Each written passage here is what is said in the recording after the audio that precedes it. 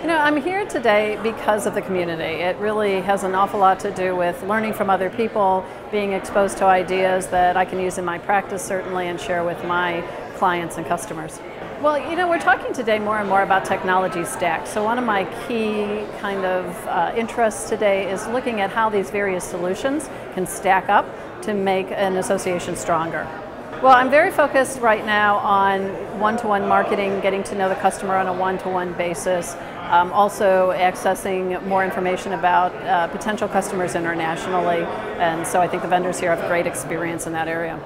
Well, one of the things that I loved about our opening keynote presentation is that we were talking about learning from manufacturing and applying it to associations. And one of the gifts I think of my career is that I've been able to gather uh, learnings from different industries and apply them to the art and the science of association management.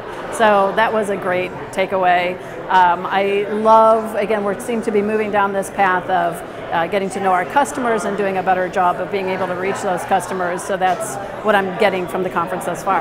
I think that Sherry and Kevin have been so dedicated to the association community over the years. I've known them for a really long time. Kevin used to be a vendor, Sherry used to be a client. And what I've really loved is, is watching them kind of grow as the industry is growing and for them to have a sense of what the community needs and to be able to actually meet that need in this very kind of specific way. I think the turnout is great.